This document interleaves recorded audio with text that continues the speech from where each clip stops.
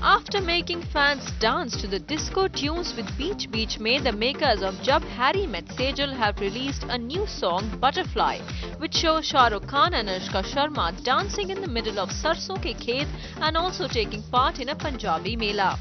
Recently, while shooting the song, SRK was seen driving a tractor and is also wearing a turban and the rustic feel adds to the whole charm of it. Tractor चला रहे हैं film में तो tractor का मजा किस तरह लिया जी आपने यार बड़ा difficult होता है यार कहाँ आप हाँ सामने सामने। हाँ तो बड़ा डिफ़िकल्ट होता है वो यार ऐसा हिलता बहुत है।